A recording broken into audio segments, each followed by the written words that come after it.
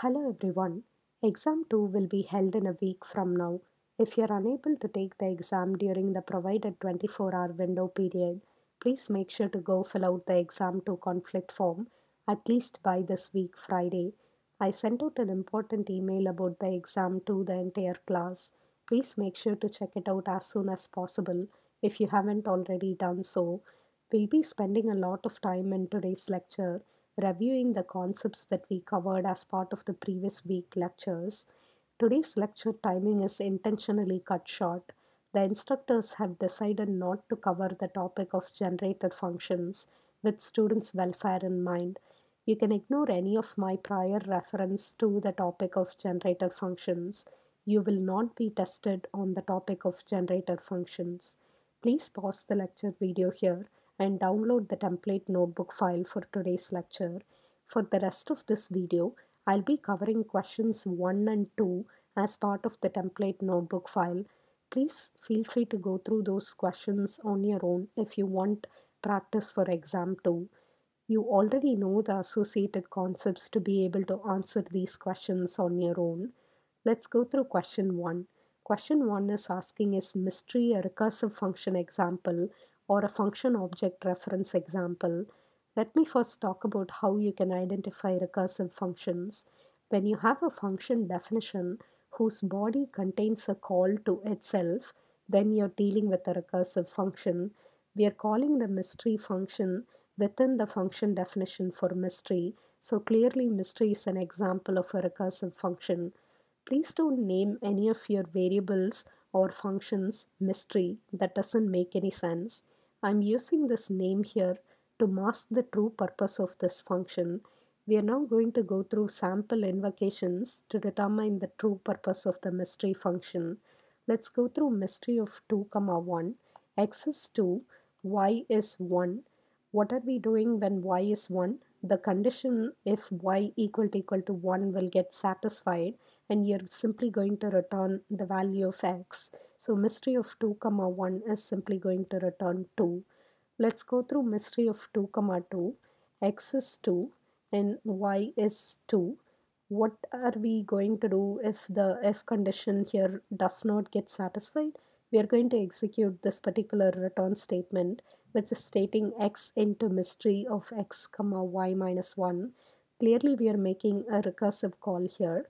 Let's go through that particular statement x is 2 so we are going to say 2 into mystery of 2 comma y minus 1 is going to be 1 because y is 2 what is mystery of 2 comma 1 we already know that mystery of 2 comma 1 returns 2 because we just went through that particular function invocation. So this particular expression is going to evaluate to 2 into 2 so mystery of 2 comma 2 is simply going to return 4 Let's go through mystery of 2 comma 3. x is 2, y is 3. So we are going to make this particular recursive call. That's going to give uh, mystery of 2 comma 2. We already know mystery of 2 comma 2 is going to give us a value of 4. So this is simply going to be 2 into 4 and mystery of 2 comma 3 is going to return a value of 8. Are you able to guess what will the return value be when you invoke mystery with the arguments 2 and 4? If you had guessed 16, then you had the correct answer to my question. The mystery function is no longer a mystery.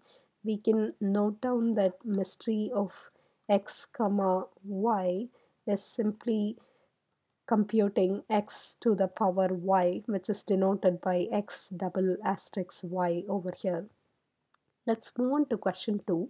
Question 2 is asking is raise 10 a recursive function example or a function object reference example. Clearly raise 10 is an example of function object reference. We are using the function name without any parenthesis. That's how you can identify that you're adding a reference to the function object as opposed to calling the function. Recall that the map function takes two arguments. The first argument is going to be the function object reference and the second argument is going to be the list of values to which you want to apply that particular function to perform the transformation. So the second argument here is a list which contains four integer items of 1, 3, 2 and 4. Let's go through the definition for raise 10 function. Our parameter is exp. We are simply calling the mystery function to raise 10 to the power exp. So clearly this particular transformation function calculates 10 to the power whatever is the exponent.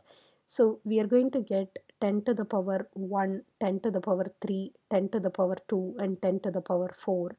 Recall that the map function returns a generator object instance. All that you need to know about the generator object instance is that you can use the list function to be able to typecast that into a list here. So let me go ahead and execute this particular cell. Observe that we are getting 10,000, 100 and 10,000 which is the expected value when you raise 10 to the power of all of these exponents here. I'll wrap up this video here. In the next video, we'll be going through the questions about review for lambda and map.